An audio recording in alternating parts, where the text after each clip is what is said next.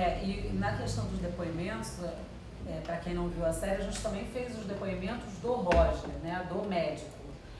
E porque a gente, ele como ele quando ele começou a ser acusado, ele falava muito também, negava, dizia que as mulheres eram loucas, eram sempre umas coisas assim bem pesadas, a gente achou que era importante botar aquilo também. Ele falou, a gente quer ouvir. Vamos, e fizemos inspirados mesmo nas coisas que ele falava, que são horrendas. Ela falou, cara, não acredito que esse homem fala. Não, ele fala assim, né? Os homens é, abusadores falam assim e sem assim, problema. Sem problema. Sabe uma coisa que eu reparei? Eu vi a série, fiquei apaixonada, ficava esperando quinta-feira, vidrada. Fiquei, adorei, achei máxima a forma, como me pegou muito. E eu, eu achava incrível também como ele ia para a religião, né? Venerava, vamos rezar. E a gente ficava na dúvida se aquilo realmente ele sentia ou se era uma, uma manipulação. A gente ah. gostava bastante de fazer essa parte. É. Eu acho que ele sentia mesmo. A minha opinião, eu acho. Acho que. Realmente. Acho que ele história pra ele. Principalmente a mulher, né? Ele chamava mulher científica. Tinha aquela coisa com a mulher dele e apontava toda. É, essa questão da religião está na pesquisa que o, que o jornalista fez. Isso, por exemplo, é, acho que é muito interessante como a gente vai catando a, as peças de quebra-cabeça na pesquisa para montar a história que fica mais forte de ser contada é, a obsessão religiosa dele era uma coisa que, é, que a gente estava dada na, na, na, pesquisa que, ah, é, que o jornal. Não, mas é ótimo. Isso a gente não sabia. Isso a gente é. não teria como saber apenas pelas matérias, mas uma pesquisa mais aprofundada de um jornalismo investigativo conseguiu levantar isso e ver que realmente todas as coisas dele eram justificadas por Deus e tal. Então, o que torna o personagem uma contradição é, é absoluta. E que é uma contradição bem comum, né? É, muito comum é, os abusadores terem discursos religiosos. Então a gente falava, poxa, vamos poder botar e não estamos mentindo.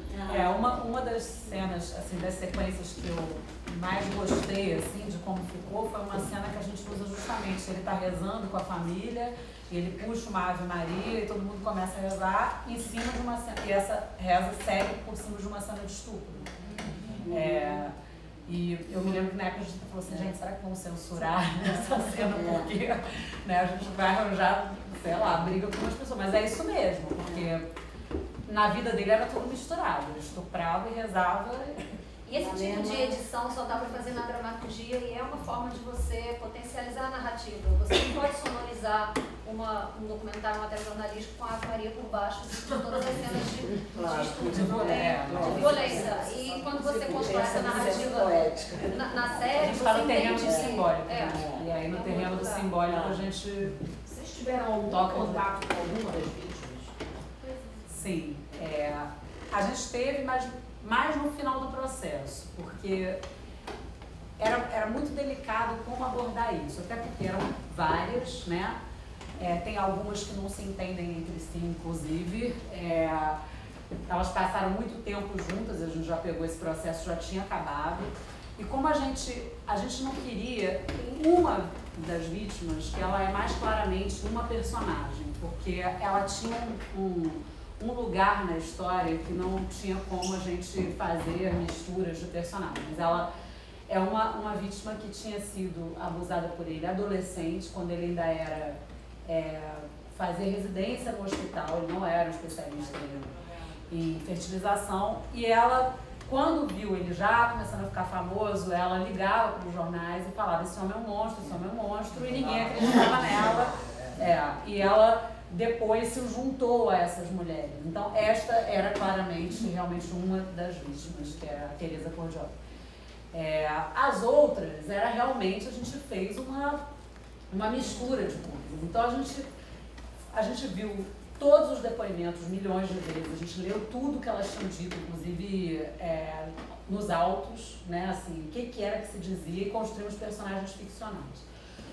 Estava previsto desde o início que no último episódio elas falariam, a gente teria um, um desfecho com as mulheres falando, depois isso acabou mudando um pouco, é, e se, até a Bárbara Paz fez um documentário com elas depois, chamado Assédio.doc, onde elas falam, que foi uma coisa feita para o Globoplay.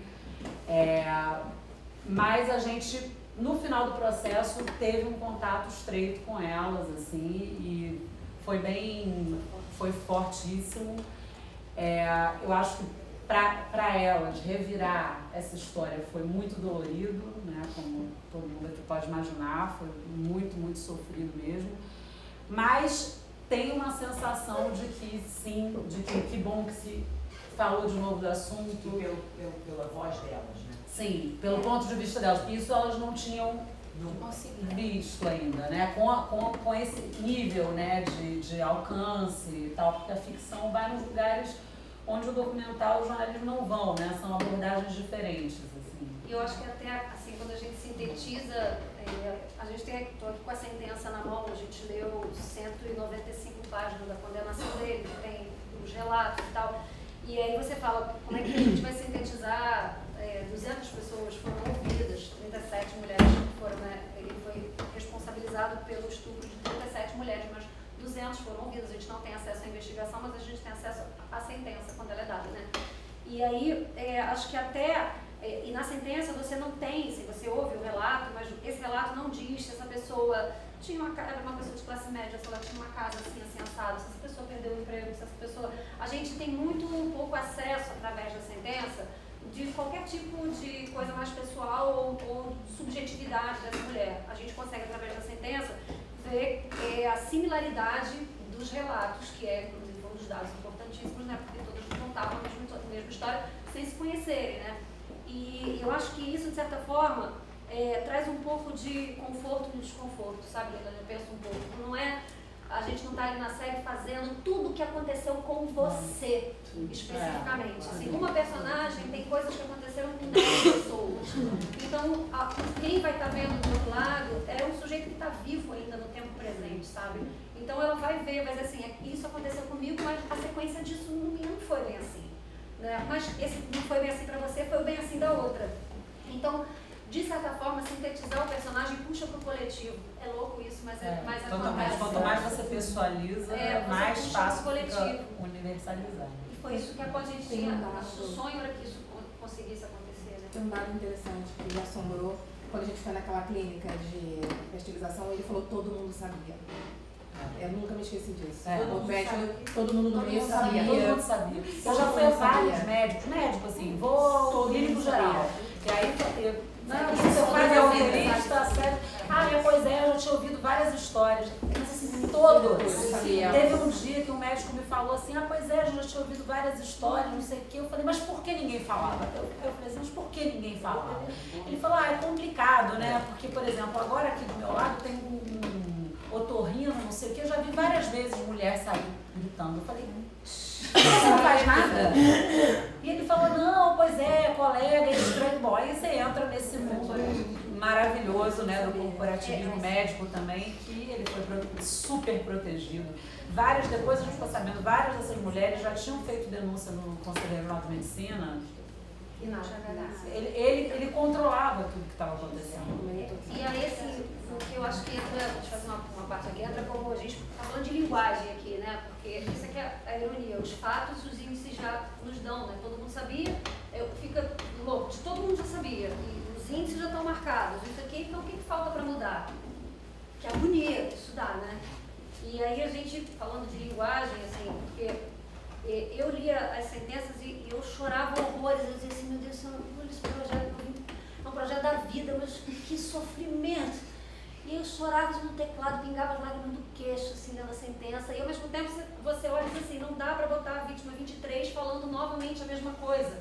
A vítima 23, se eu puser na televisão a vítima 23 falando a mesma coisa, a pessoa já também se acostuma com aquela narrativa de certa forma. A gente conversava sobre isso.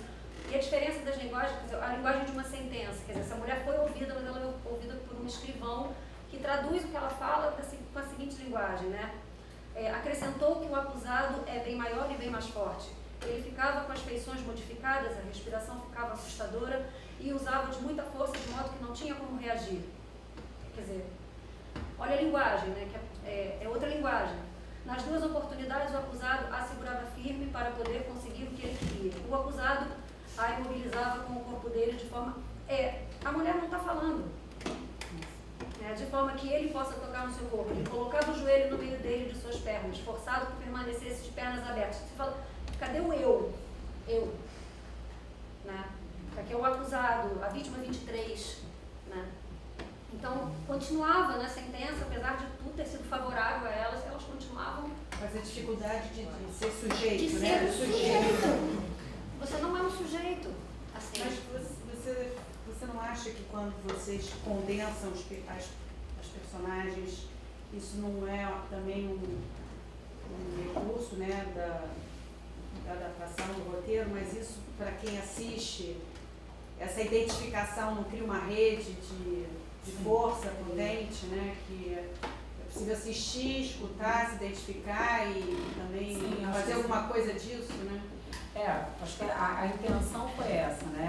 E, e tem, era uma medida muito difícil é, mesmo, e acho que do ponto de vista da execução, né? Da Amora viveu esse desafio depois na montagem, até o final, né? Assim, o que se mostra, o que se insinua e como se mostra, porque é um negócio tão doloroso que, assim, se a gente for mostrar tudo, né?